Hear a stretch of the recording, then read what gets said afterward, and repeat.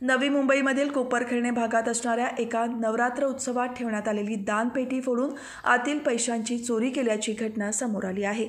या घटनेचे चित्रण सी सी टी व्हीमध्ये झाले असले तरी अद्याप चोर पकडला गेला नाही. कोपरखेळणे सेक्टर एकोणीस येथे बाल शिवाजी व्यायाम मंडळाच्या वतीने देवी उत्सव आयोजित करण्यात आला होता. दानपेटी फोडून चोरट्यांनी जवळपास चार हजार रुपयांची चोरी झाली आहे.